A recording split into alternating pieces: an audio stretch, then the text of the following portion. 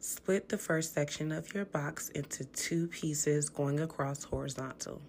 Place the braiding hair in between, sandwiching it in, and hold your braiding hair with your fist in a overhand motion. Split the client's hair into three sections as if you're going to do a normal plait.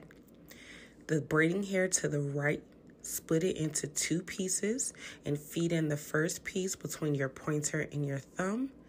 Braid over and under. And with the left hand section split into two, place that first piece in between your pointer and your thumb. Braid over and under like normal. Grab your last piece on your right between your pointer and your thumb, and the same on your left hand section.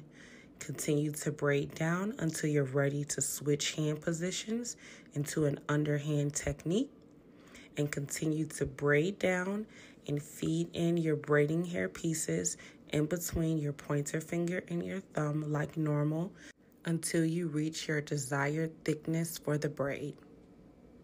Head to my YouTube channel at Touch of Glam by Nay to see a full in-depth tutorial on various ways on how to do knotless braids.